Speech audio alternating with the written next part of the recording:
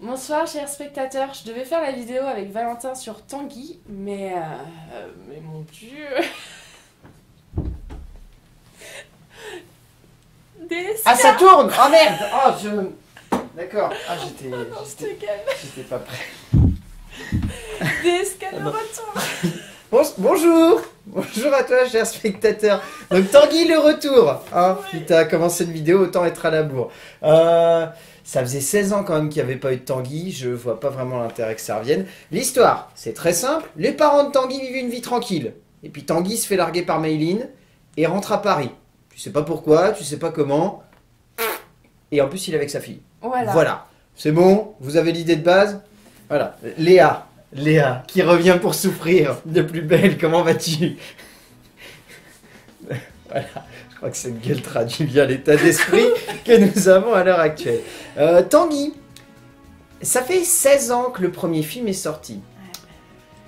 16 ans, c'est bien. C'est C'est long. c'est c'est quoi C'est je- non, je j'essaye de trouver une étape en fait. Non, tu peux pas picoler encore à 16 ans. Enfin, c'est pas encore autorisé. Euh, majorité sexuelle Ah, Peut-être Oh, J'en sais. Bref, c'est un âge pourri. Dans tous les cas, je sais pas pourquoi Étienne Chatiliez, à un moment, ça lui a traversé la tête de se dire Hey, je vais faire une suite à Tanguy en 2019.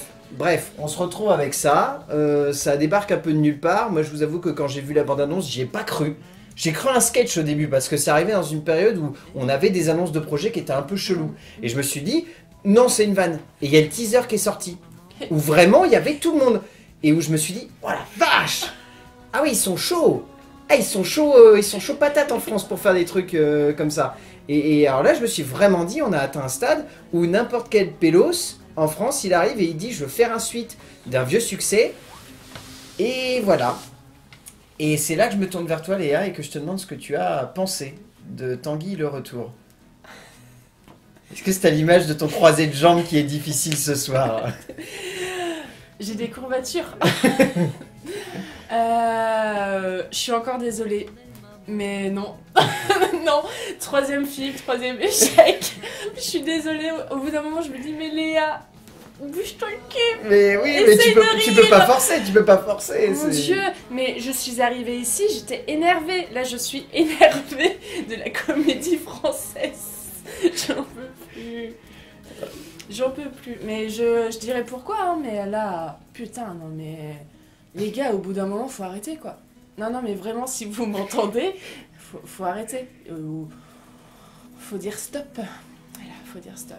Mm. Là, là, je crois que le... Non, il Ouais. n'a pas voulu. C'est Il n'a pas voulu, puis... euh, Après, Valentin a bien apprécié le film. Non, non, Enfin- non, non, là, t'es gentil. Non, non, je trouve que le film a une idée, mais qu'il l'exploite pas. Et qu'en fait, à partir de ce moment-là, il peut pas être bon. Honnêtement, je me suis pas plus marré que ça pendant le film. Il y a deux, trois scènes où je me suis dit, ah, c'est rigolo. Non. où il y a des trucs qui sont sympas. Mais franchement, Étienne Chatiliez, il est grabataire, hein, faut qu'il arrête. hein. Là, il est plus du tout en adéquation avec son temps. hein. Étienne Chatiliez, si vous voyez pas qui c'est, je vous cite un film culte d'Étienne Chatiliez, La vie est un long fleuve tranquille.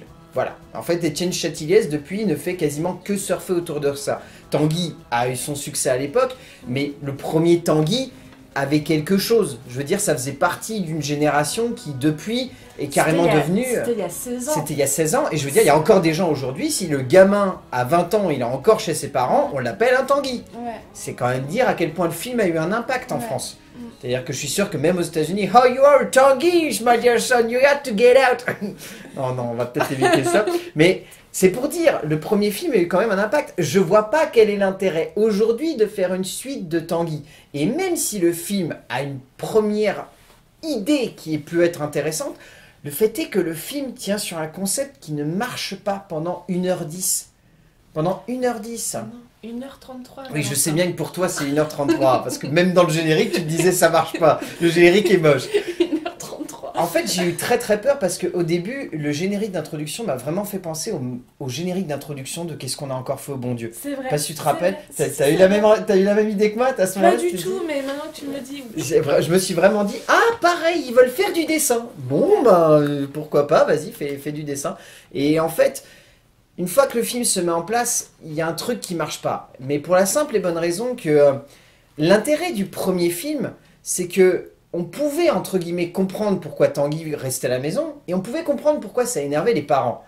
Là, le fait est que quand ça arrive, on comprend pas pourquoi ça se met en place de cette manière-là, et le fait est que la comédie se veut de jouer sur, je sais pas, une certaine empathie pour Tanguy, genre, euh, oh le pauvre, il s'est fait larguer comme une grosse merde. Oui, bon, le souci c'est que je vois pas pourquoi il rentre comme ça euh, chez, chez ses parents en fait. Il n'y a rien qui est logique, c'est-à-dire que c'est genre il se fait larguer, le lendemain il est chez ses darons. hein. Ok, ça peut être rigolo, mais en soi c'est. C'est pas. Non, voilà, non, non, Non. non. Bon, Non. je te propose qu'on saute tout de suite sur le scénar, qu'on voilà, qu'on s'énerve un petit peu un coup et qu'ensuite on essaye de, de- de valoriser quelques qualités au long métrage, même si je sais que de ton côté ça sera compliqué. Euh, Laurent Chouchan et Étienne Chatiliez, comment dire? Il y a un truc qui passe pas en termes d'écriture, mais ça va au-delà de. Enfin, je sais pas, mais le fait est que, moi je te l'ai dit, mais j'estime que le film démarre réellement au bout d'une heure dix, parce qu'au bout d'une heure dix, il y a une bonne idée. Tu me confirmes que derrière, c'est l'idée qui ne marche pas parce qu'il faut qu'ils aillent en maison de convalescence, mais en soi, l'idée est plutôt bonne. Parce qu'à partir du moment où, en gros, je spoil comme un gros fou, j'en ai rien à faire, à partir du moment où les parents ont un accident, que eux-mêmes ont causé d'ailleurs, et c'est peut-être l'une des seules vannes qui fonctionne réellement dans le film parce qu'il y a un jeu de mise en scène, si, si, il est, c'est sûr, je trouve que ça fonctionne. Mais le fait est qu'à partir du moment où les parents se retrouvent à ne plus pouvoir bouger, là le film a un vrai intérêt, je trouve. Alors que moi, je trouve que le film dure 10 minutes. Ça veut dire les premières 10 minutes du film. Et après, pour moi, quand euh, sa femme revient, ouais, bah après, pour moi, il y avait. Je, je crois que c'est, je crois que c'est le pire, ça. Je crois que c'est le vrai retournement Non, non, de situation où je me suis dire, dit que. euh, C'est que moi, c'est là que je me suis dit. Alors la femme ou Tanguy? Non, non, la femme. Oui, la femme de Tanguy, mais Oui, oui. la femme de Tanguy revient. Je me suis dit, bon, je quitte la salle ou euh, il est fini là, le film pour moi. Il est fini. Le Ah bah. film pour moi, quand elle revient, je me dis, ok, c'est bon, c'est arrangé. Mais ça n'a pas d'intérêt en fait. Ça n'a pas Ça d'intérêt. n'a aucun intérêt. Et moi, ouais, c'était les premières 10 minutes du film, quoi. Je me dis, oh, ok. Ouais, bah après, euh, non.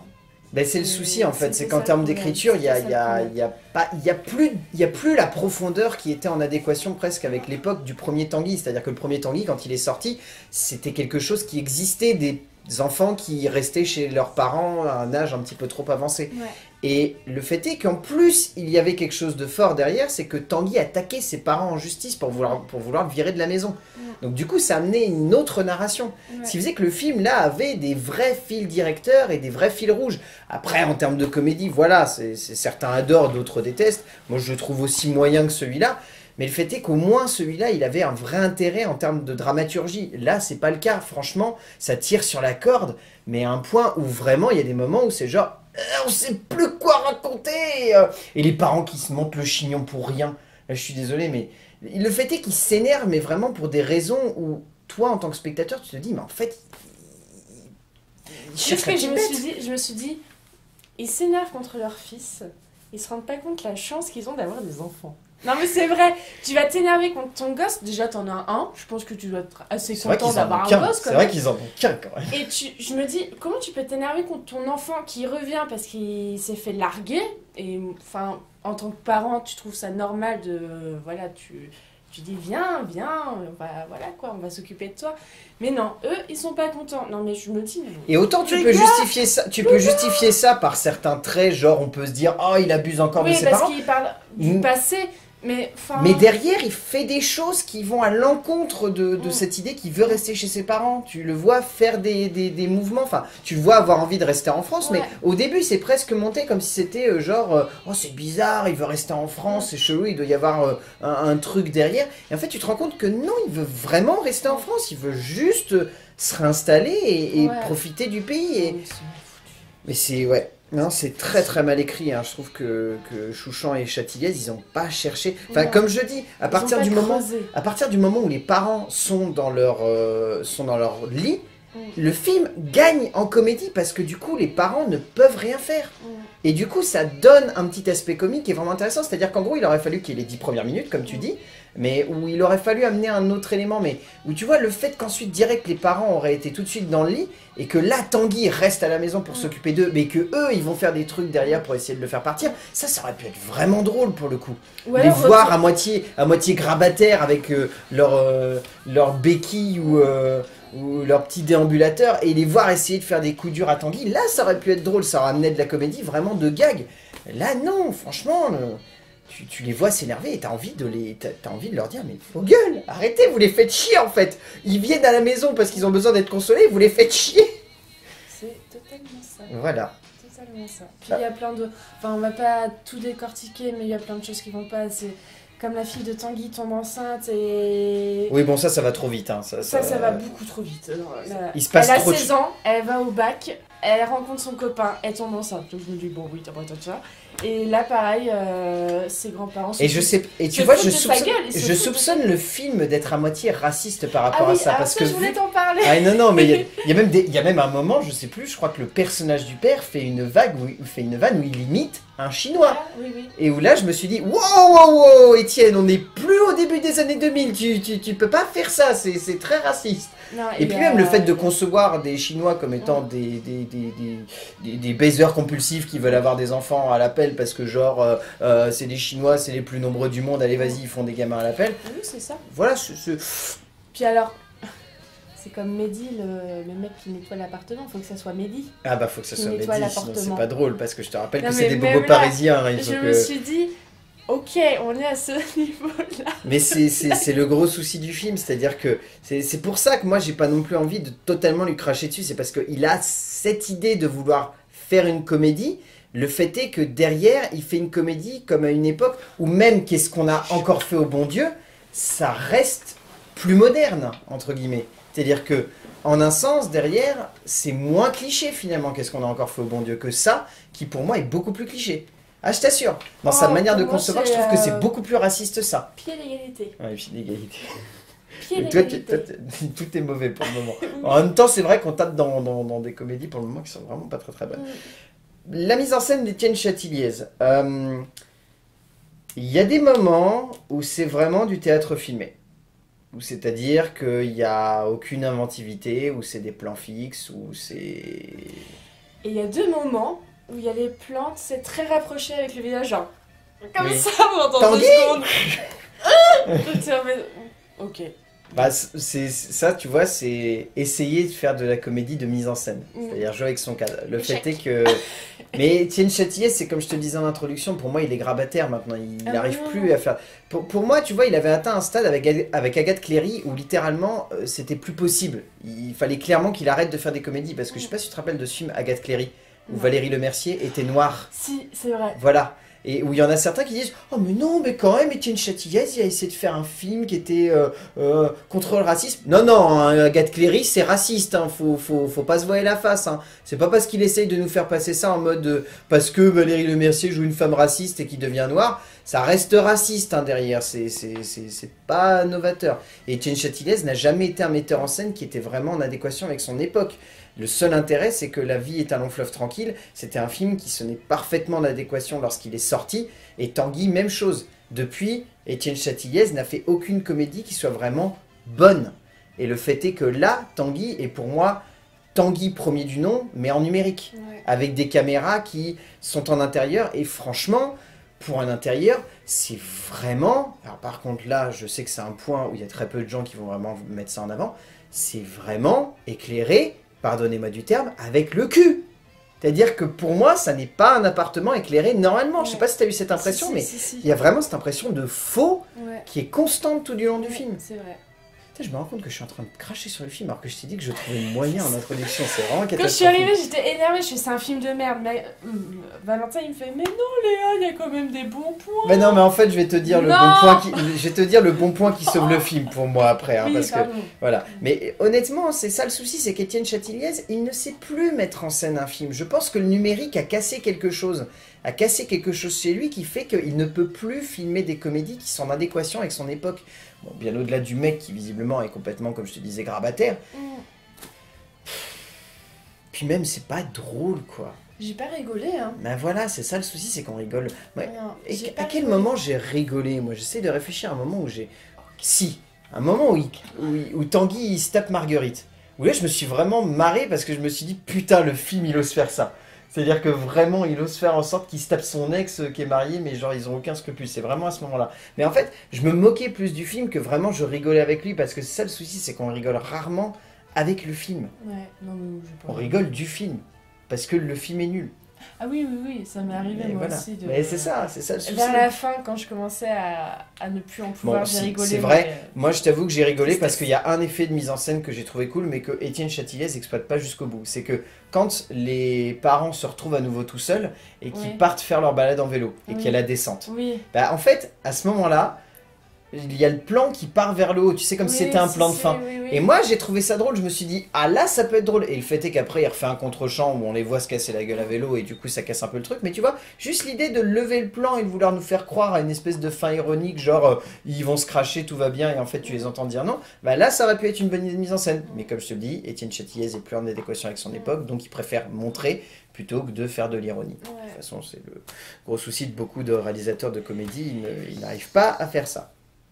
Au niveau du casting, bah, je te disais que pour moi, il y avait un point positif qui sauvait à peu près le film. Pour moi, c'est ça. Bon, par contre, ayant une demi-mesure, Éric Berger, qui joue Tanguy, clairement, au-delà que ça soit le rôle de sa vie et qu'il n'a été capable que de jouer Ouais. ça au Mm. cœur du cinéma français, là, non. Là, non. Enfin, je sais pas ce que t'en Mm. penses, mais non, non. C'était plat. C'était plat, c'était. Bah, il sait pas, il n'arrive pas à jouer le perso. grand hein. intérêt. Voilà. Bah, le seul bon acteur du film, c'est Gaspard. Proust. Mais Gaspard Proust est tellement reculé et tellement en mode roue libre que. Pourquoi? Pourquoi? Et c'est vraiment. Je dit- Mais j'ai pas compris en plus. Enfin, comme je te disais, c'est Jean-Paul Rouve qui jouait Bruno dans le premier. Là, ils ont pris Gaspard Proust. Mais Gaspard Pourquoi Proust, il a 10, il a 10 ans d'écart avec Jean-Paul surtout- Non Rouve. mais, non, mais qu'est-ce que pas. Gaspard Proust fout là-dedans? Enfin, moi je l'ai vu dans des films, tout sauf ça, rien à voir. Euh, je vois, je sais pas. Bah, euh, l'amour dure 3 ans Voilà, ou je le vois l'idéal. là-dedans, moi euh, je le vois pas. de- Putain, mais là-dedans, les gars Parce que moi, j'ai pas vu le 1, je... désolé, j'ai pas vu le Tanguy 1, je veux dire 1. Et je me suis dit, ça se trouve, Gaspard Proust, vu que c'était il y a 16 ans, c'était peut-être ses débuts. Et je me suis dit, ça se trouve, c'est lui qui jouait son meilleur pote dans le premier. Eh ben non. Valentin m'a dit non, j'étais. Mais pourquoi? Pourquoi t'es là-dedans? Mais je sais pas, écoute, il s'est perdu. Il y avait, il y avait le choix entre le nouveau Bec BD ou Tanguy le retour. On a inversé les deux panneaux. Il est parti Mais sur non, Tanguy le retour et il s'en est rendu compte qu'à la fin du tournage. fou, mais Qu'est-ce qu'il fout là-dedans? Mais j'en sais rien. Mais honnêtement, t'as vu le nombre Oh de scènes dans lesquelles il est? Il y a, il- Deux. il- Voilà, c'est ça. Il y a deux scènes où il est là. Allez, Oh, trois. Il essaye, il essaye, parce que même Gaspard Proust, beaucoup. Et il essaye de mettre une petite touche d'humour, si, il essaye. Ouais, bon, pff, ouais, Bah ouais, bah honnêtement, il a pas vraiment les meilleures lignes euh, de texte pour euh, arriver à faire j'étais ça. déçue. Je me suis dit, tiens, il va remonter. Franchement, j'ai vraiment cru qu'il allait remonter un peu la pente, un peu euh, remettre Ouais. de, de l'humour dans le film. Eh, Pour moi, vraiment, je trouve que ce qui fonctionne dans le film, c'est la chimie qu'il y a entre Sabine Azema et André Dussolier. Je sais que toi, t'es pas dessus, euh, t'es pas, tu trouves pas ça bon, mais je trouve que André Dussolier a une gueule et a une voix. Et du coup, ça fait qu'il a une présence à l'écran. Ouais. Sabine Azema, elle est un petit peu en roue libre, euh, notamment avec son petit chips des familles qui, qui sort de nulle part, genre. qui, qui est vraiment surréaliste, mais bon. Ouais, non, non, mais parce que parce que c'est parce que c'est raciste. Donc ça fait rire les gens, vu qu'aujourd'hui, avec Qu'est-ce qu'on a encore fait au bon Dieu, on peut rigoler de tout.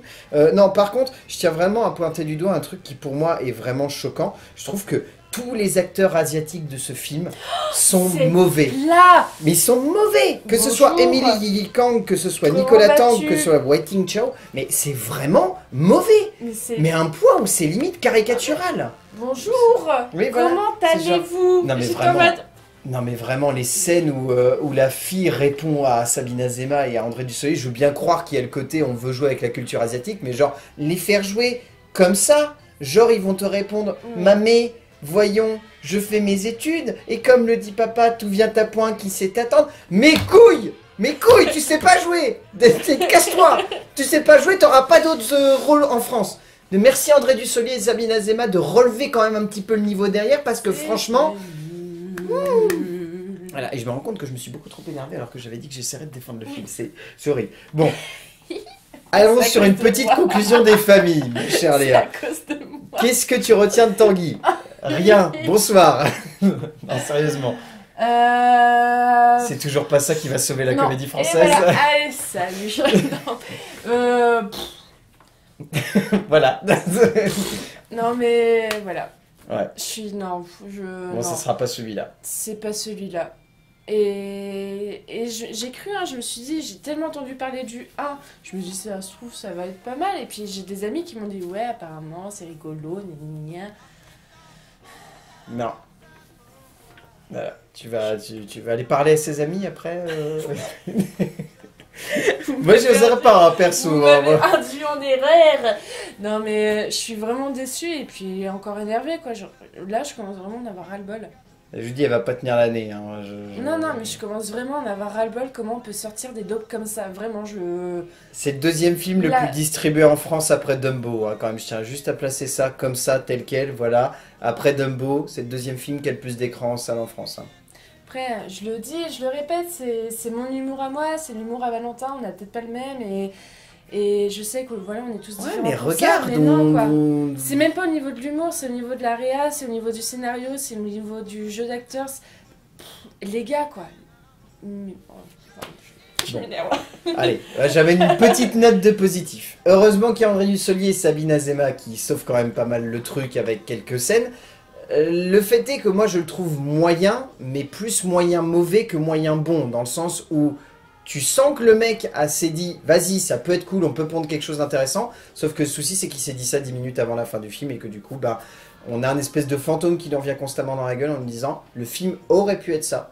C'est ce qui fait que j'arrive à me dire c'est moyen, mais c'est pas ça. Donc au final, remettez-vous plus à la vie de Léa, qui je pense est clairement peut-être peut-être un petit chouïa trop vers le et la purge monumentale, mais voilà. Non, euh, enfin, c'est pas une purge, il y, a- eu des purges, c'est pas une purge, c'est- que. All Inclusive est plus mauvais que ça. Non, tu trouves pas? Non, si? Alors, All Inclusive est quand même bien plus mauvais que ça. Mais ça a rien à voir. Mais All Inclusive pour moi est bien. Ouais, mais All Inclusive pour moi est beaucoup plus mauvais que ça. hein. C'est pas le même genre de comédie, je sais, mais C'est pas pareil. c'est pas pareil. Mais bon, c'est plus mauvais. Mais bon, ils auront essayé. Hein, euh, qui Ouais. tente rien à rien. Qui rien à rien. C'est problème de Tanguy Tu continues à te la jouer comme sa fille Aïe aïe, bon Ah, bref. Merci Léa de souffrir avec moi et de ne pas me laisser perdu dans ces moments-là. Ouais. On se voit là, on se voit dans quelques jours hein, pour, euh, pour euh, Olivier Barou et, et qui reviennent. Gigolo. Ah là là, ça va, être, euh, ça va être drôle ça aussi. Bon, d'ici là, on va quand même dire aux gens d'essayer d'aller voir des films parce que c'est bien de voir des films, même si voilà, les, les films les plus distribués en France sont des, sont des mauvais films. Et on se retrouvera pour parler de films, bien évidemment. Allez, à plus. Salut. Et maintenant, Léa va aller se suicider parce qu'elle se dit on n'est même pas à la moitié de l'année